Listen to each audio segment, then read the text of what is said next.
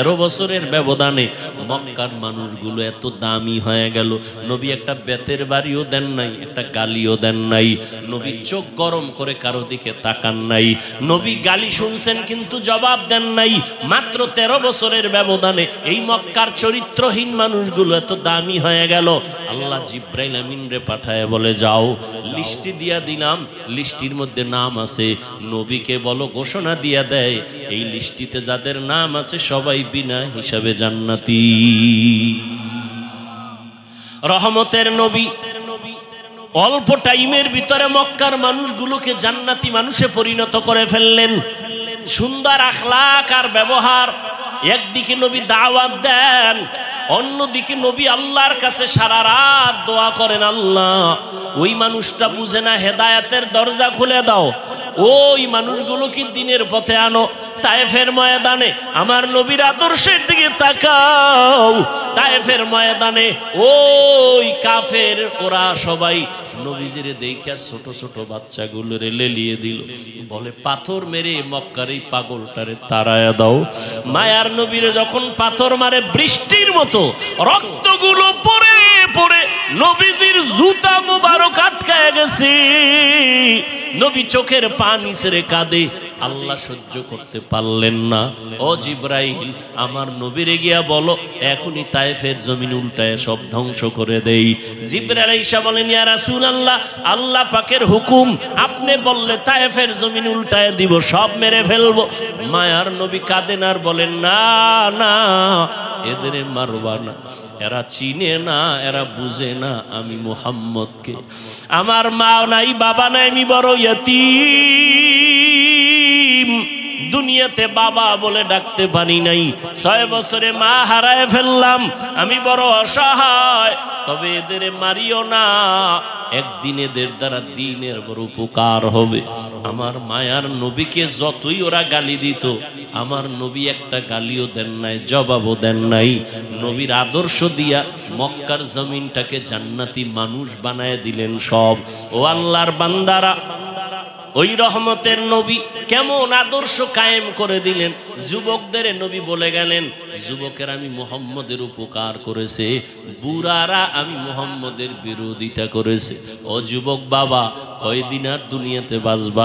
আমি কিন্তু এতক্ষণ চিল্লাইলাম, তোমার পায়ে ধরে ধরে বয়ান করলাম। কুত্তার মতো সারাটা দেশে ওলামায় কেরাম দৌড়ায় আর বয়ান করে, পাও ধরে। ও আল্লাহর বান্দারা বিনিময়ে তোমরা একটা টাকাও দাও না, বরং গালি দাও, বিরোধিতা করো। এরপর আলেমরা কিন্তু এর গালির জবাবও দেয় না, বরং দেখলে হাসি মুখে সালাম দেয়, মোহব্বতের সাথে বুকে লাগায়। এর একটাই মাত্র কারণ, নববী আদর্শে তারা চলতেছেন, দুনিয়ার মানুষের দিনের পথে ডাকতেছেন।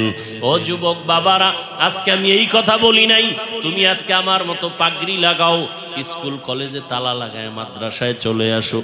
না রে বাবা, তুমি স্কুলে থাকো, কলেজে থাকো, লেখাপড়া করো, চাকরি করো, ডাক্তারি পড়ো, ইঞ্জিনিয়ারিং পড়ো, ব্যবসা করো। রহমতের নবীর মোহাব্বত লাগায় সুন্নতওয়ালা জিন্দগির দিকে আগাও। মা বাবার দোয়া নাও। মা বাবার দোয়া ছাড়া এই চেয়ারে আমিও বসতে পারি নাই। ও টাকাওয়ালা, মা বাবার দোয়া ছাড়া, কান্না ছাড়া তুমি কিন্তু টাকার মালিক হতে পারো নাই। বাড়ি গাড়ির মালিক হতে পারো নাই। ওই মা বাবার জন্য কলিজা ভরে দোয়া করিও। মা বাবার জন্য মসজিদে বসে আছো। একবার আলহামদু সুরা কুলহু আল্লাহ তিনবার দরু শরীফ পরে একা একা দোয়া করি। কবরের সামনে যাওয়ার সময় থাকলে যাইও। ও আল্লাহর বান্দা, যাদের মা বাবা বেঁচে আছে, মায়ের কাছে গিয়া দোয়া চাইও। ও বাবা, তোমার মতো যুবক আজকে জেনারেল লাইনে থাকিয়াও নামাজ পড়ে অভাব নাই। সাগরে গিয়া মাছ ধরে নামাজ সারে না, চাকরি করে নামাজ সারে না, গাড়ি চালায় নামাজ বাদ দেয় না। ও আল্লাহর বান্দা, যুবক, তুমি কেন পারবা না? ও পর্দার আড়ালের আম্মা জানেরা, আপনাদের অবদানের কারণেই তো এই দুনিয়াতে সন্তান ভালো হয়, খারাপ হয়, যত ভালো সন্তান আসছে আপনাদের অবদান আর মেহনত আর দোয়া। ও আম্মা জানেরা, আপনাদের আল্লাহ নবী বানান নাই, তবে নবীদের মা বানাইছেন। আপনারা আলেমদের মা, আপনারা হাফেজদের মা, আপনারা ভালো ভালো সন্তানদের মা। এরে আম্মা জান, আপনি তো আয়েশা রাদিয়াল্লাহু আনহার মতো দামি নারী, ফাতেমা রাদিয়াল্লাহু আনহার মতো দামি নারী। আপনি তো খাদিজা রাদিয়াল্লাহু আনহার মতো দামি নারী। ইসমাইল নবীর মা হাজারা আলাইহা সালামের মতো দামি নারী।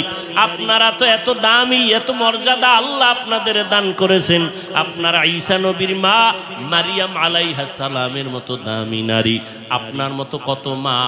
কত বোন এখনও আছে, নামাজ পড়ে, পর্দা করে, স্বামীর মাল হেফাজত করে, সন্তানগুলোকে দিনের পথে মেহনত করে, মোবাইলে সময় নষ্ট করে না। এরে আম্মা জানেরা, আপনারা কেন পারবেন না?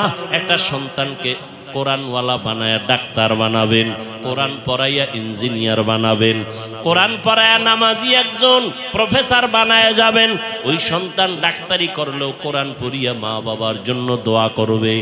এমন একটা আদর্শ সন্তান দুনিয়াতে রেখে যাবেন। ও সন্তানেরা, মা বাবার দোয়া নাও, বেঁচে থাকলে মায়ের কাছে যাও। মাকে যদি বলো, মা এই যুবকেরা দেখলাম কত তওবা করল, কান্না করল। আমার তওবার নিয়তি আসে না, কান্নাও আসে না, কারণটা কি? মনে হয় আল্লাহ আমার গুনার কারণে বেজার হয়ে গেছে। দিলটা পাথর হয়ে গেল, চোখে বানি নাই। মা, তুমি মাথায় হাত দিয়ে একটু দোয়া করে দাও। তুমি যদি দোয়া করো, আল্লাহ পাক কবুল করে আমাকে হয়তো রাস্তা খুলে দিবেন। মা যদি দোয়া করে দেয়, কপাল খুলে যাবে। ও আল্লাহর বান্দারা, এখনও যদি অন্তর তৈরি থাকে তওবার জন্য, পিছনে তো কম নামাজ সারো নাই, কম বেপরদায় চলো নাই গুণা তো কম করো নাই। এখন আল্লাহর কাছে মনে মনে বলো, হে দয়ার মালিক, তুমি তো রিজিকের মালিক, তুমি আমার হায়াতের মালিক, তুমি তো আমার ইজ্জত দেয়ার মালিক আজকে থেকে জীবনে যত গুণা করছি আর করব না, নামাজ ছাড়ব না, বেপর্দায় চলবো না, দাড়ি কাটব না, মুরব্বীদের কথা শুনব, ওলামায়ে কেরামের পরামর্শ নিয়া নবীর তরিকায় চলবো কোনো দিন মা বাবার সাথে বেয়াদবি করব না, খাটি অন্তরে যদি তওবা করো, আমার আল্লাহ দরজা খুলে তোমাকে কবুল করবেন, অন্তর তৈরি হবে, তবে এটাও সত্য কথা, আবু জাহালের মতো কিছু অন্তরওয়ালা দুনিয়াতে থাকবে। হাজারো বয়ানে দিল নরম হবে না। বয়ানের পরে বাইরে গিয়ে তারা বিরোধিতা করে গুনার পাল্লা ভারী করবে। আর ওমরের মেজাজওয়ালা যারা গুনার কথা স্মরণ করে চোখের পানি ছেড়ে তওবা করবে। ও আল্লাহ, জাহান্নামের আগুনের গরম সহ্য করতে পারব না রে মালিক। সূর্যের গরম সহ্য করতে পারব না। ও আল্লাহ, তুমি মাফ করে দাও। দুনিয়ার থেকেই আমি তওবা করে নিলাম। যদি আল্লাহর বান্দা তওবা করার খাঁটি নিয়ত থাকে, অন্তরে কোনো মুনাফেকি না থাকে, তওবার নিয়ত থাকলে দুটো হাত আমার আল্লাহকে দেখায় দাও। আয় আল্লাহ, আমাদের তওবা কবুল করে নেন, হাতগুলো কবুল করে নেন। আয় আল্লাহ, তওবার উপরে মজবুত হইয়া ওলামায়ে কেরামের পরামর্শ নিয়া নবীজির সুন্নত অনুযায়ী চলার তৌফিক দান করে দাও। মা বাবার দোয়া নিয়ে চলার তৌফিক দান করো। আয় আল্লাহ আমাদের সবাইকে দিনের খাদেম হিসেবে কবুল করে নাও আমি আল্লাহ সবাইকে কবুল করে।